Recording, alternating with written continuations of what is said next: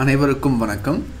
இன்றைக்கி நம்ம இந்த வீடியோவில் பார்த்தீங்க அப்படின்னா ஃபனுக் சிஎன்சி சிஸ்டமில் பின்னாடி ஒரு பேட்ரி இருக்கும். அந்த பேட்ரி வந்து லோ ஆகிடுச்சு அப்படின்னா எப்படி நம்ம வந்துட்டு அலாரமாக கொண்டு வர்றது அப்படின்னு சொல்லிட்டு பார்க்கலாம். மொதல் இந்த பேட்டரியோட பர்பஸ் என்ன? எதுக்காக யூஸ் பண்ணுறோம் இந்த பேட்ரி வோல்டேஜ் வந்து லோ ஆச்சுன்னா என்ன நடக்கும்? இது தவிர்க்கிறதுக்கு நம்ம என்ன பண்ணலாம்னு சொல்லிட்டு தான் இந்த வீடியோவில் பார்க்க போகிறோம் இது வந்து எல்லாருக்குமே ஹெல்ப்ஃபுல்லாக இருக்கும் ஸோ மிஸ் பண்ணாமல் முழுசாக பாருங்கள் இப்போ இதுதான் ஃபனுக் சிஎன்சி சிஸ்டம் இருக்கு இல்லையா? பேக் சைடில் எடுத்துக்கிட்டிங்க அப்படின்னா இந்த மாதிரி நிறைய போர்ட்ஸ் இருக்கும். கம்யூனிகேஷன் போர்ட்ஸு அந்த இடத்துல இந்த மாதிரி பேட்டரி வந்து இருக்கும். இங்கே இருக்கு இல்லையா? ஸோ இந்த பேட்ரி இருக்கும். இந்த பேட்ரி வந்து என்ன பர்பஸ் அப்படின்னு பார்த்தோம் அப்படின்னா இது வந்து ஒரு lithium battery Fanuc controller back சைடில் வந்து மவுண்ட் பண்ணியிருப்பாங்க எதுக்காக அப்படின்னா to save the system SRAM memory data so எஸ்ராம்னு இருக்குது இல்லையா? அந்த எஸ்ராமில் என்னென்னலாம் டேட்டா இருக்கோ அதை ஸ்டோர் பண்ணுறதுக்காக இந்த பேட்ரி வந்து வச்சுருப்பாங்க. இப்போது நம்ம ஸ்டோர் பண்ணுறது மூலயமா இப்போ டிவைஸ் பவர் சிஎன்சியோட பவர் ஆஃப் ஆகிடுச்சு அப்படின்னா அந்த எஸ்ராமில் இருக்கிற டேட்டாவை ஸ்டோர் பண்ணுறதுக்காக தான் பேட்ரி வந்து யூஸ் பண்ணுறோம் நம்மளுக்கு அந்த டேட்டா வந்து லாஸ்ட் ஆகாமல் இருக்கிறதுக்காக தான் பேட்ரி யூஸ் பண்ணுறோம் இப்போது இந்த டிவைஸை வந்து நம்ம ரொம்ப நாளுக்கு யூஸ் பண்ணுறோம் அப்படின்னா அதோட லித்தியம் பேட்ரி இருக்கு இல்லையா அதோட வோல்டேஜ் வந்து ட்ராப் ஆகும். ஸோ அந்த டைமில் உங்களுடைய சிஸ்டம் பவர் வந்து ஆஃப் ஆகிட்டு திருப்பி நீங்கள் ஆன் பண்ணுறீங்க அப்படின்னா அந்த ஆஃப் ஆகிற டைமில் இந்த பேட்டரினால் ஒரு ஒரு தேவையான வோல்டேஜை கொடுத்து அந்த எஸ்எம் மெமரியை வந்து வச்சுருக்க முடியாது. அதில் இருக்கிற டேட்டாவை ஸோ அந்த டைமில் தான் நம்மளுக்கு என்ன ஆகும் அப்படின்னா நம்ம ஆஃப் பண்ணிட்டு ஆன் பண்ணும்போது அந்த மெமரி எஸ்எம் மெமரியில் இருக்கிற டேட்டா வந்து லாஸ்ட் ஆகிடும் அப்போ நம்மளுக்கு வந்து சிஸ்டம் அலாரம் வரும்.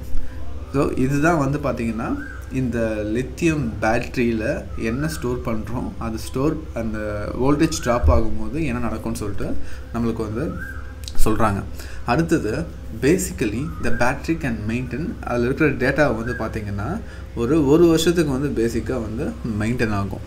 இப்போது இந்த பேட்ரி வோல்டேஜ் ட்ராப்ஸ் அப்படின்னா அந்த இடத்துல பிஏடின்ற ஒரு வார்னிங் மெசேஜ் வந்து நம்மளுக்கு எல்சிடி ஸ்க்ரீனில் வரும் ப்ராம்ப்டாக அப்போ என்ன பண்ணுவாங்க அப்படின்னா எப்படி இருந்தாலும் ஆப்ரேட்டர்ஸ் வந்து அதை வந்து இக்னோர் பண்ணுருவாங்க.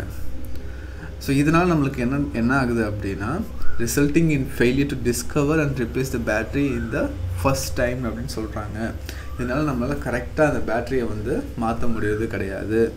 நம்ம எப்போ வந்து மாற்றுவோம் அப்படின்னா டேட்டா லாஸ் ஆனதுக்கப்புறம் பராமீட்டர்லாம் லாஸ் ஆனதுக்கப்புறம் தான் நம்ம வந்துட்டு மாற்றுவோம் பேட்டரியை ஸோ இப்போ நம்ம என்ன பண்ணணும் அப்படின்னா இதை ப்ரிவெண்ட் பண்ணணும். லோ பேட்டரி அந்த வோல்டேஜ் வார்னிங் வந்தாலே நம்மளுக்கு வந்து அலாரம் வர மாதிரி பண்ணலாம். அது வார்னிங் மெசேஜ் இப்போ நாம்லாம் வந்து என்ன அப்படின்னா இந்த மாதிரி யூசர் ஸ்க்ரீனில் இந்த மாதிரி நம்மளுக்கு வந்து வரும் இது தெரியுதுங்களா இங்கே இருக்கு இல்லையா இந்த மாதிரி வந்து நம்மளுக்கு வரும் பிஏடி அப்படின்னு சொல்லிட்டு so when the controller battery voltage drops the system will flash the BAT message on the LCD screen and send low battery voltage signal F one point two to the PMC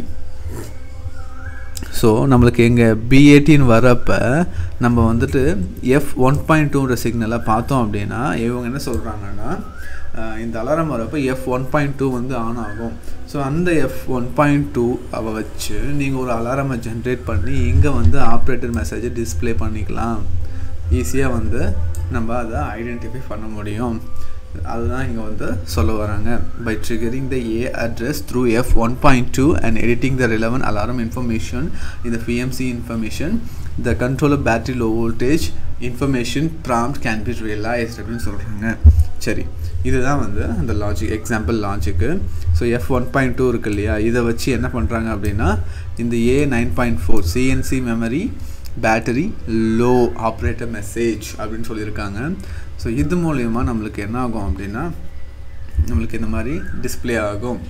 Um, இது ஒரு example எடுத்துக்கிட்டோம்னா இந்த A nine point four three ஆச்சு அப்படின்னா F one point two மூலயமா அந்த இடத்துல நம்மளுக்கு இந்த மாதிரி ஒரு அலாரம் வந்து க்ரியேட் ஆகும் வித் மெசேஜ் நம்பரோட டூ ஜீரோ செவன் சிக்ஸில் CNC memory battery low change battery in CNC power supply to not turn off CNC அப்படின்னு சொல்லியிருக்காங்க.